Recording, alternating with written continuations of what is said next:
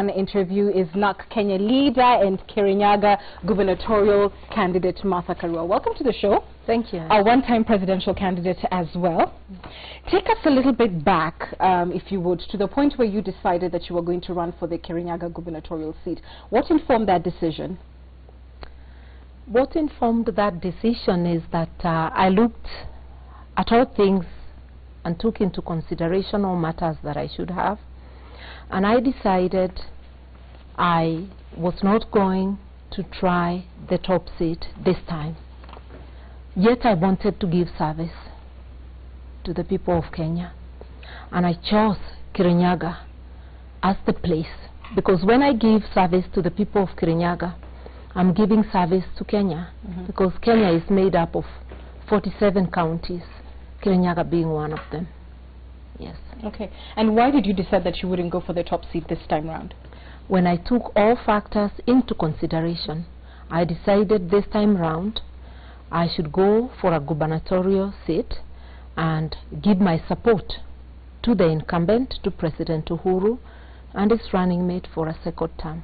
Okay, and we'll get into the, the details of why you made the decision to support the president. Uh, yeah. But what is your agenda for Kirinyaga?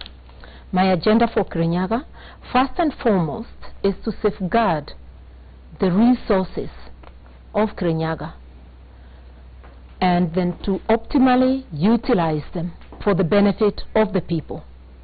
We can break down into details of where to use them. Mm. But I believe for any governor, the first and foremost duty is to safeguard the resources and then to optimally utilize. Let's talk about Kirinyaga's resources. Which yeah. ones uh, do you see as primary um, to um, advancing what your, your agenda would be?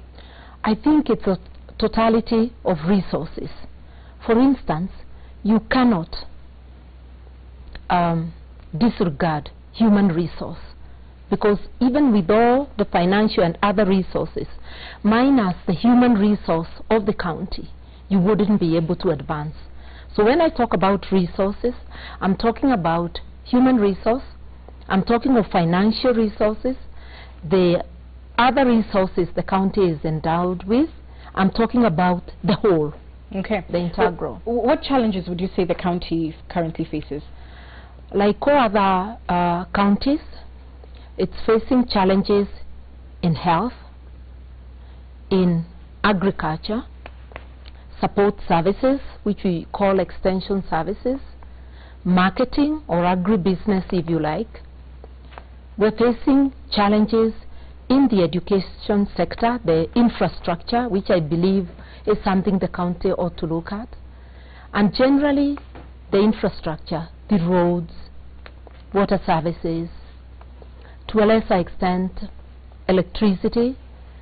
But even though I say to a lesser extent, anybody who is not yet connected. It's a big issue. Mm -hmm.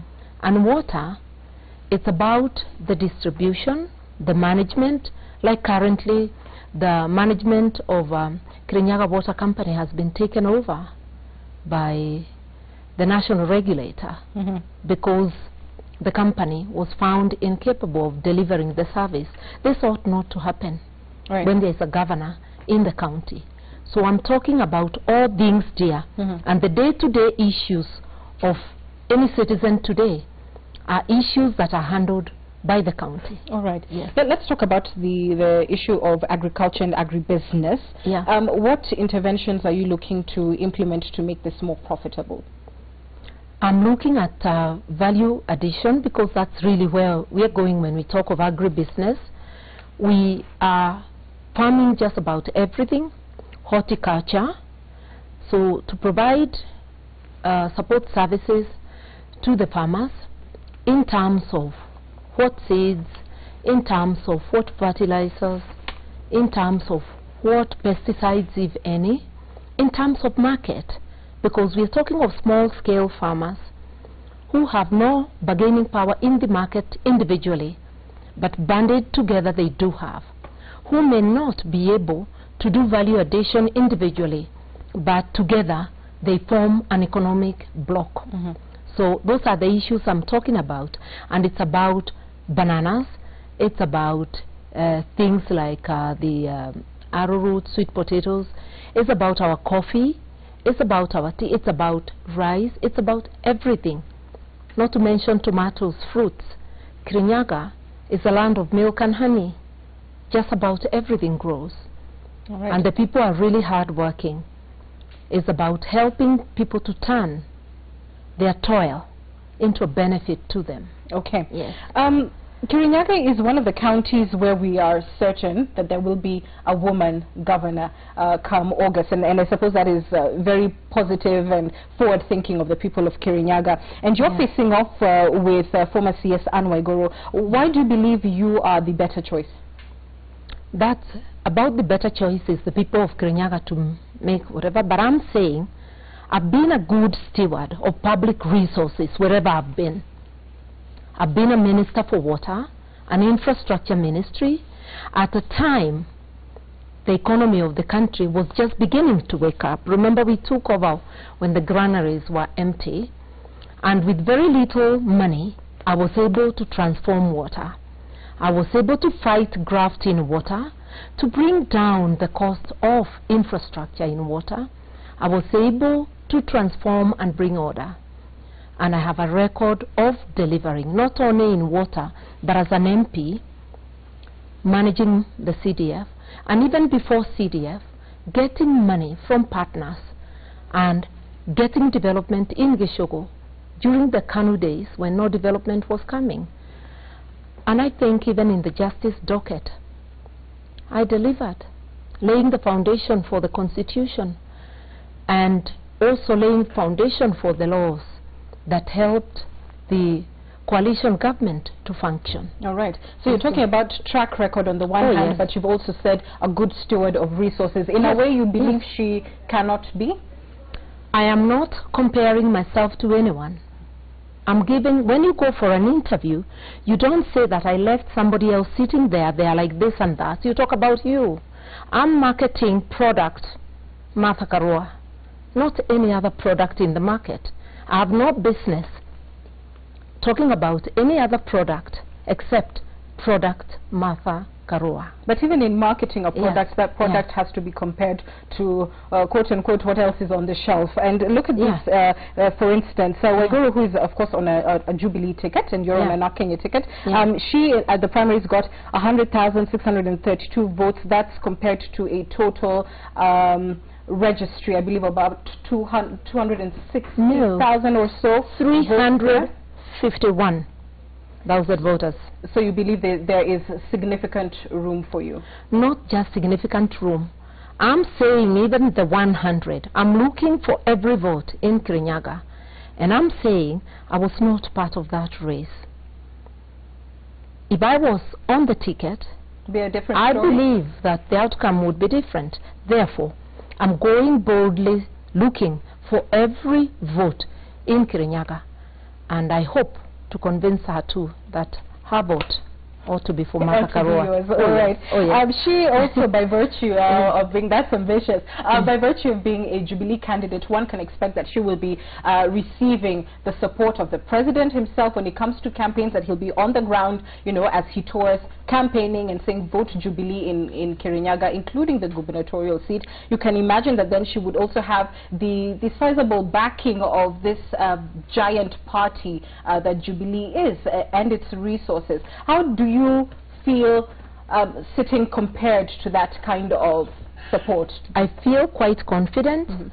I'm not a spokesperson for His Excellency the President, but last Saturday he embraced all parties that are supporting him. You saw him at NARC Kenya's National Delegates Convention. You saw him at the conventions of various other parties. The President was giving a message that all those who support him are part of his group that he is the president of all of us and the candidate of all of us. You saw him donning a NARC Kenya uh, cap, just like he donned a Chap Chap cap when he got there. The message I read, Mhm. our supporters read, and any right-thinking member of society would read, Mhm. is that he has embraced all of us. We are all supporting him at the apex. Down at the bottom of the pyramid, It's everybody for themselves. Everybody must market themselves. And So the message is clear. Mm-hmm. No longer hanging on the coattails of the president. of the president. We market ourselves and jointly we market him. I am totally undazed by anything else. It, it Yeah. sounds like you, you're not expecting the president in Kirinyaga saying, No, he will vote, come. Vote Anne Waiguru. She's on a Jubilee ticket. I'll Would be telling surprised if that happened? let me tell you, I'm ready for any eventuality. Okay. But what message would a right-thinking member of society read from the president's visit to the various national delegates convention of other parties?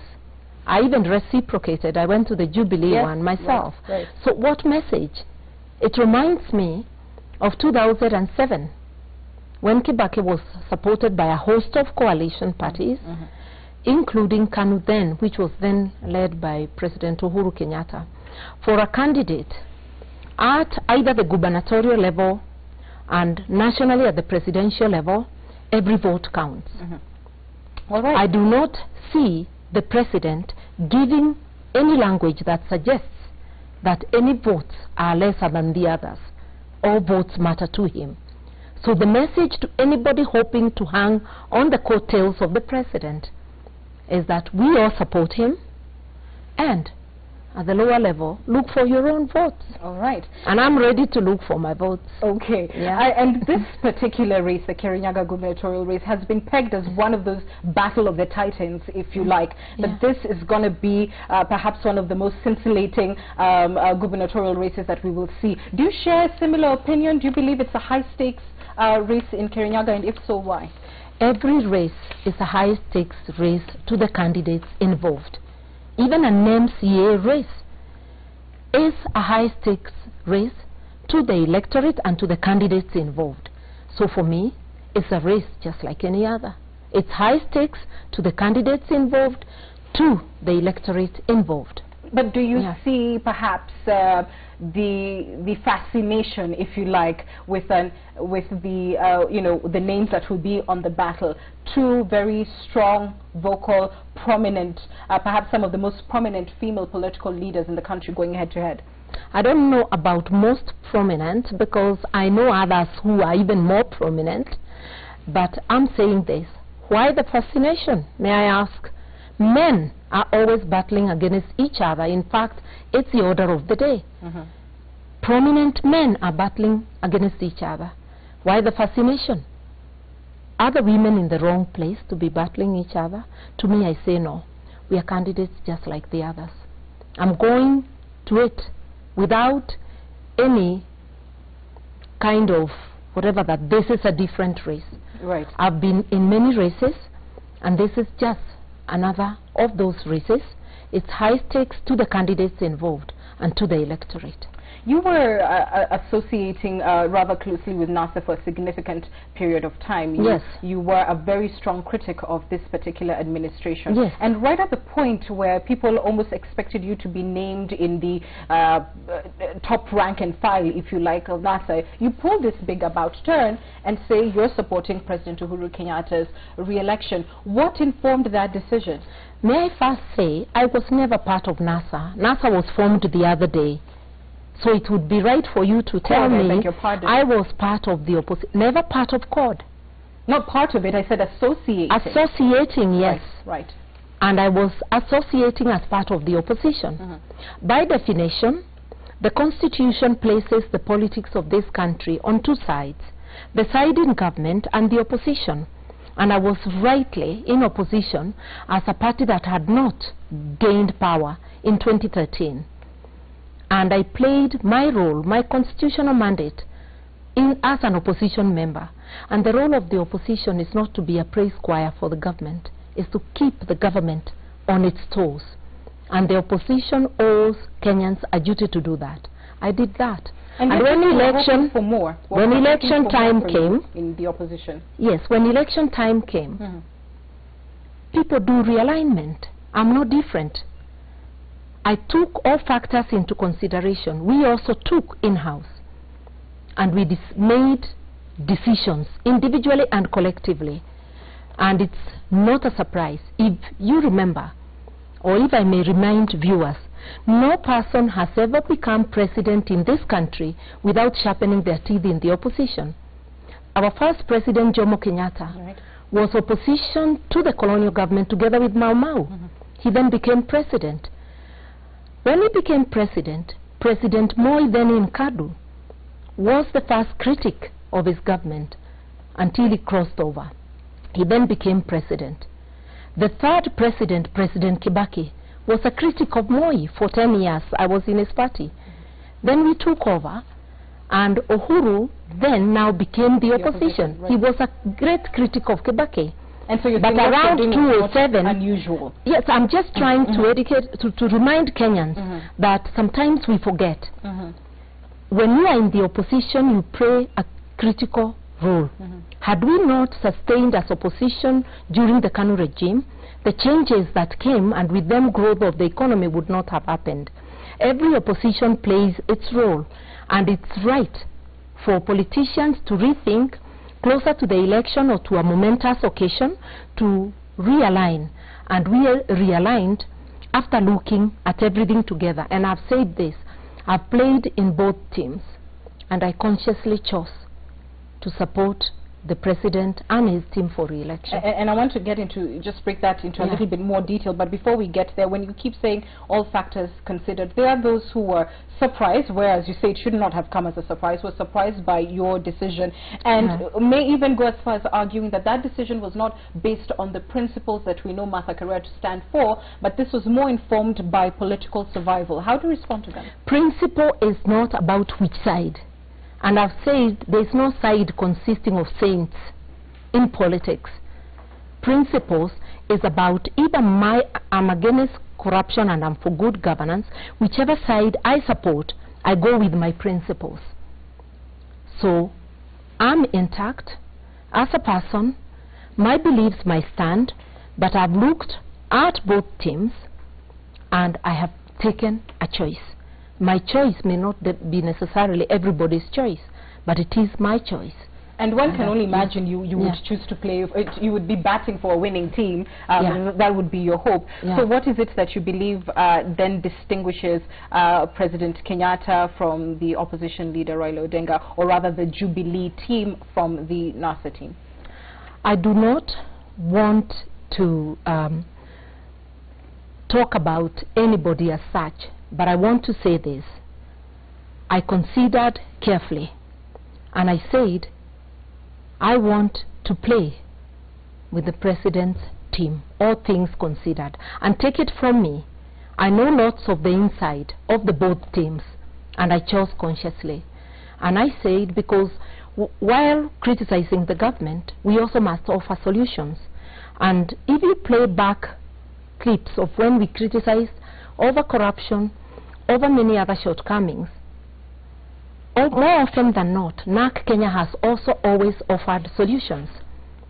Therefore, when I'm playing in the president's team, I'm ready in-house to offer the same criticism and the same solutions because as a Kenyans, Kenyan, I'm called upon to point whatever areas of weaknesses and to suggest solutions to them.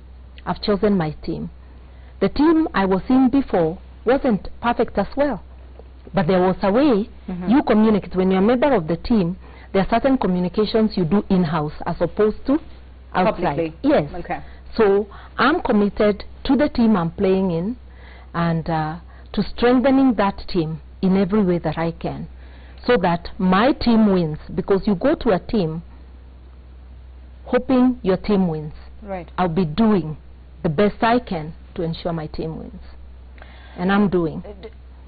Uh, do you believe that Kenyan politicians, however well-meaning, Yeah. can avoid the very present and regrettable ethnic undertones that determine who is elected?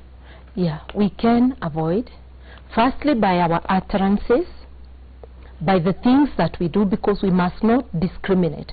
Whether you are opposition or government, you must avoid having any ethnic undertones, whether by way of campaigning, by way of whatever. We must preach cohesion. Remember, The slogan for my party is One Kenya, One Nation, One People. We want to live that every day. That you're rooting for unity, mm -hmm. you want to differ on principle, and you also want to fight on issues, not on basis of ethnicity. And wherever I stand, that's what I do. Whether when I was in the opposition, when I'm in government, I'm the same person. Martha, there could be somebody watching right now yeah. who's saying that the real reason why Martha Karua had to shift yeah. very uh, um, loudly, if you like, to support the president is because she's running for a seat in the heart of central Kenya and cannot be seen to be supporting any other than the imagined preferred candidate of the region who is the president. Anybody thinking that way, they are perfectly entitled to think. I'll differ with them. I'll say all factors considered, like I started. And I'll say this, that if the sole reason was so that I get support, then the easiest thing would have been to let NARC Kenya fold up and get into Jubilee. I didn't do that. So I chose a team, but I also chose mm -hmm. the house I'm used to. Okay. Yeah. Um, you've been described as uh, the Iron Lady, as Kenya's Margaret Thatcher. What do you think of such descriptions? You just have to let people do what they want to do. Whatever description I'm given doesn't change who I am.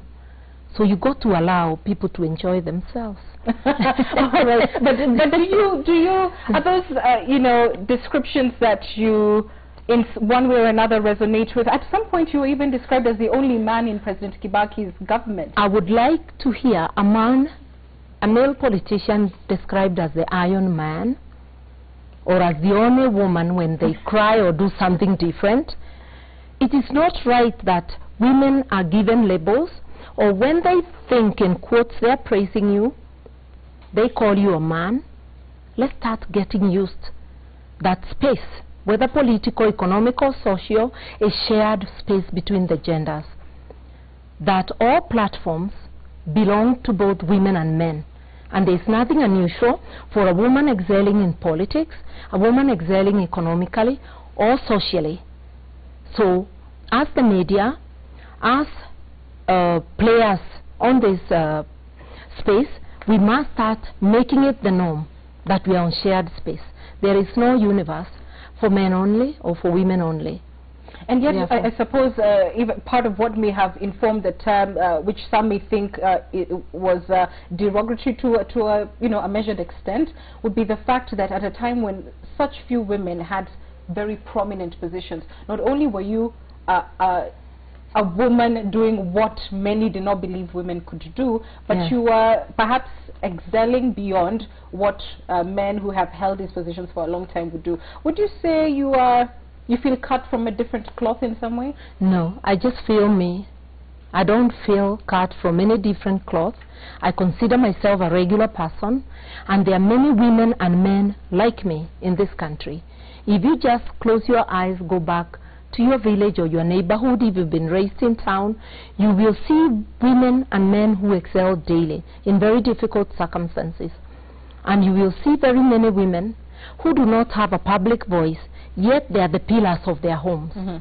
And there are many, many men, leaders today, who, if they had not been led well by their mothers in their bringing, they wouldn't be where they are. Any male leader today the best have been led by their mothers first and the world second. So if yeah. it's time we started recognizing this, those narratives are kept to the back. Mm -hmm. And this yeah. election, we, we are expecting to see uh, more women yes. elected, simply even by virtue of the fact that women are going for uh, slots that they did not vie for yes. uh, in the previous election. But even with, with that uh, hopeful tone, there is a concern that it will not be enough to, to be at least a third um, of the representatives who will form um, you know, uh, who will behold public office uh, come August. Do you believe that because of social norms and the times that it takes to transform a society, that women's rights, at least on the leadership and, and public service front, will still have been relegated to something that is progressive? let me say that things are changing. When I started as a member of parliament or plunged into politics about two decades, over two decades ago, it wasn't the way it is. And I'm very proud that lots of women all over Kenya have been elected being told, go be our Martha Karua. So whatever space a woman occupies, whether it's a prominent newscaster like you, and a good one at that, Thank you. whether it's at another space, these spaces used to be occupied by only men, by the way. So we are helping our children, the young generation, internalize that space is shared. We have women rising in the army, women rising everywhere. Mm-hmm. In this particular election, mm-hmm. there are more women vying than in any other election. Yes, they're not enough. I share the concern with you that women may not form one third of all the candidates presented by the parties. Even as NARC Kenya, even though we have a policy of 50-50, we were not able to get enough women interested to actualize that policy. We may end up being slightly below the one-third in the total number of candidates. Mm-hmm. But I'm happy to say I've seen participation of more women seeking to get to the ballot as MCAs and at all other levels than in any other election. And I think society is also electing more women and our chances increase when more of us are on the ballot paper. So I think society is changing, changing very fast. I would uh, pray that our members of parliament hear the call by the president to actualize the not more than two-thirds gender rule as mandated by the constitution to remember they're paving way for their daughters they're paving way to unleash the full potential in terms of human resource for Kenya's leadership and growth because when you have all the resources that Kenya has to offer of the both genders then we develop faster Finally, do you still have presidential ambitions? I am right now so focused on the gubernatorial post that I cannot focus on anything. Right now, my eyes are on Kirinyaga gubernatorial seat, a step at a time, A step closer, perhaps, to A a, presidential run? a step at a time, and then we see what life has to offer. And Yeah. we'll cover it. Yes. Thank you, Martha Thank you. for your time. We're taking a short break. We're back with the sport after this.